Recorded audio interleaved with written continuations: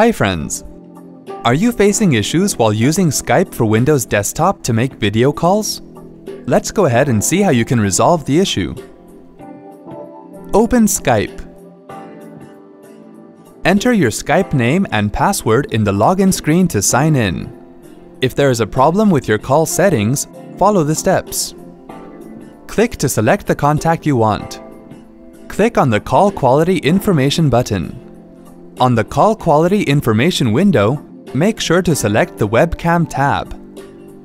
Red or yellow icons indicate that further configuration is needed to achieve the best call quality.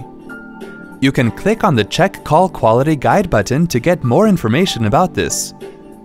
If you have more than one webcam connected, select the one you want to use from the drop-down list. Close the Call Quality Information window.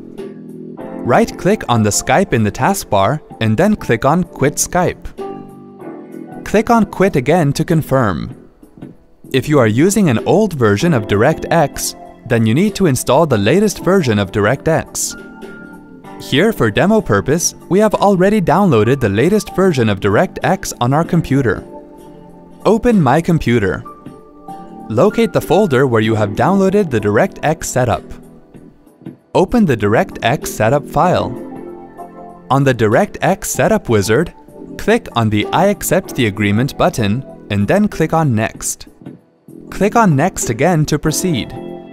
Wait for components to download and then wait for the components to install. Click on Finish. You can also get the latest version of DirectX by updating Windows with the latest service packs and updates. Hope this was easy to follow.